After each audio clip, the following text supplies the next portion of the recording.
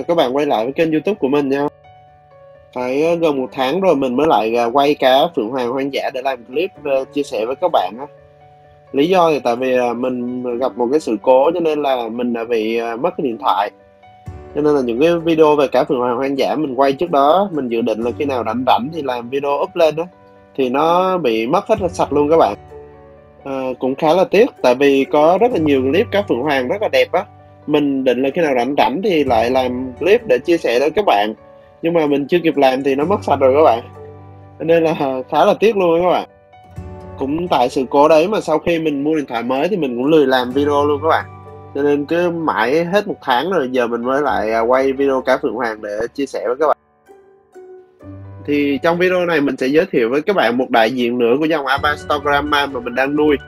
À, trên màn hình các bạn anh thấy đó là Avastogramma norberti tên rất là dễ nhớ nha các bạn. Avastogramma norberti nhưng mà trước khi nói về em cá này á, thì cho mình gửi lời hỏi thăm sức khỏe đến tất cả các bạn nha.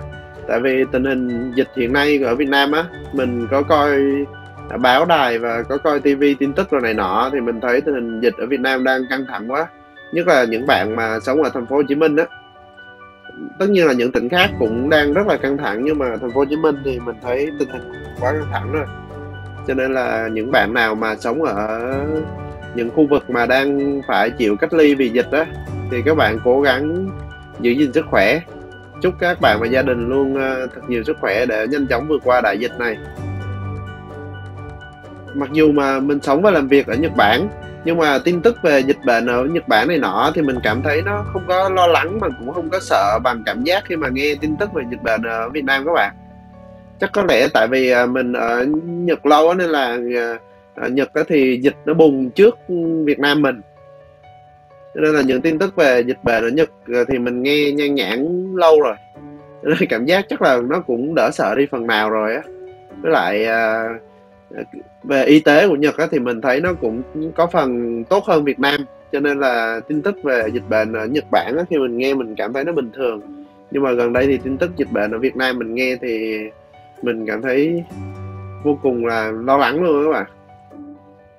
Nhưng mà mình tin là nhà nước mình sẽ có những cái chính sách phù hợp để mà đẩy lùi được dịch bệnh và tất cả chúng ta sẽ trở lại với cuộc sống bình thường. Để cùng nhau à, vượt qua dịch bệnh này nha các bạn. Giờ thì mình à, xin phép quay lại với em cá nhân vật chính trong clip của chúng ta. Hôm nay đó là Abastogramma noberti thì à, em cá này thì mình là lần đầu tiên à, giới thiệu cũng là lần đầu tiên mình nuôi luôn các bạn. Dòng này thì à, rất là hiếm nó xuất phát từ Peru các bạn. Cụ thể thì nó được uh, tìm thấy ở những cái con sông suối nhỏ mà chảy vào sông Amazon ở cái vùng Lorete của phía đông bắc Peru á. Trong tự nhiên á, thì nó thường hay sống ở những cái vùng nước đen mà có bóng râm à, nhiều lá cây mục và rễ cây này nọ nước thì chảy chậm nha các bạn và nhiều bóng râm. Vì à, môi trường sống của nó vậy cho nên là bạn nào mà bể nuôi mà có dòng chảy mạnh quá thì mình tìm cách hạn chế dòng bớt lại nha các bạn. À, phượng hoàng hoang dã thì nó cũng không thích dòng chảy mạnh quá đâu. Cũng như à, một số dòng phượng hoàng hoang dã của Peru khác như là một dòng rất là nổi tiếng đó là Inca 50 thì cái con Novelty này á thì các bạn có thể thấy là mồm nó rất là to và cái bộ vây trên của nó rất là hầm hố, dựng lên thì siêu ngầu các bạn. Không khác gì k50 hết. Cũng là à, dân anh chị 1910 á. Tại vì à, mồm nó rất là to cho nên là lúc mà nó chưa có tên khoa học á, lúc mà người ta mới phát hiện ra thì người ta gọi nó là phượng hoàng big mouth. Tức là phượng hoàng mồm to các bạn. Nhưng mà bây giờ thì nó có tên khoa học rồi, nó là Avastogramma noberti à, gần đây thì có một bạn đặt câu hỏi cho mình đó là tuổi thọ của cái dòng vườn hoàng hoang dã thì như thế nào á? Thì em ờ, Noberti này á thì mình ờ, có đọc các tài liệu trên mạng á thì tuổi thọ trung bình của nó đạt từ 5 đến 6 năm nha các bạn. Nhưng mà tùy theo vào điều kiện các bạn nuôi này chất lượng nước các kiểu và tùy vào cái cá thể các bạn nuôi nữa có con khỏe con yếu này nọ.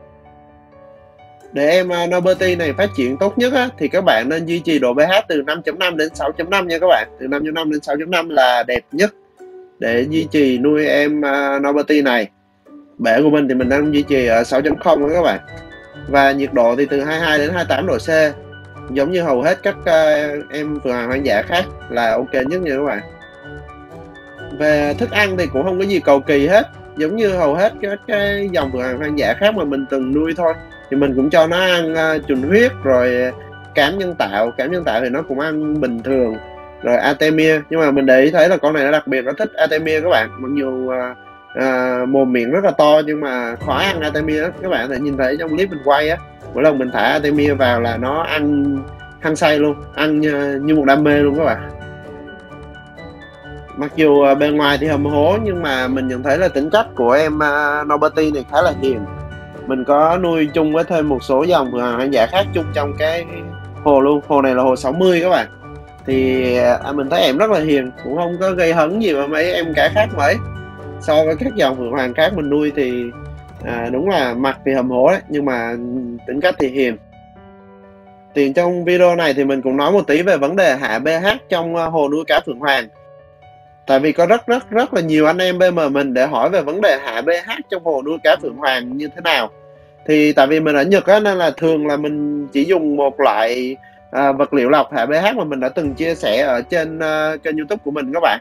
Đó là vật liệu lọc hạ pH than bùn của thằng Ehem. Ngoài ra thì uh, mình còn dùng uh, dung dịch hạ pH của Techa. Thì cái dung dịch hạ pH đó khi mà mình cho vào thì nó sẽ hạ rất là nhanh. Nhưng mà gần đây có một bạn tên là Trương Hoàng Thắng bạn ấy để lại một cái ờ, comment để mà chia sẻ. Rất rất rất là hữu ích luôn nha các bạn đó là ở Việt Nam các bạn có thể dùng vật liệu lọc hạ pH của thằng Neo. À, đây là vật liệu lọc à, hạ pH đến từ Hàn Quốc. Mình có tìm hiểu qua rồi và được à, và cũng được khá khá anh em chơi Phượng Hoàng ở Việt Nam chia sẻ là nó hạ pH rất là tốt nha các bạn. Nên bạn nào ở Việt Nam có thể dùng thử loại này. Ngoài ra bạn Thắng còn à, chỉ điểm thêm một loại nữa đó là một loại vi sinh giảm pH của Việt Nam mình tự sản xuất. Đó là vi sinh tên là Coica pH trừ. Nó giảm pH khá là tốt khi mà mình thay nước, theo bạn Thắng chia sẻ. Thì đây là chia sẻ mà mình thấy cực kỳ hữu ích đối với những à, anh em nào mà đang băn khoăn về vấn đề mà giảm pH để nuôi cá phượng hoàng. Rất là cảm ơn bạn Trương Hoàng Thắng đã để lại những à, cái comment chia sẻ như thế này. Và nếu mà bạn nào có thêm những chia sẻ khác nữa thì mình rất là welcome các bạn để lại comment như bạn Thắng nha. Cảm ơn các bạn rất là nhiều vì đã đóng góp cho những bạn à, nuôi cá phượng hoàng có chung đam mê như mình thôi, video lần này của mình chỉ ờ, tới đây thôi. Xin chào và hẹn gặp lại các bạn trong các ờ, video khác trên cả, trên kênh ờ, youtube của mình. Nếu mà các bạn có bất kỳ câu hỏi gì hay có những chia sẻ gì thì cứ để lại ở dưới phần comment nha các bạn. Chào và hẹn gặp lại các bạn.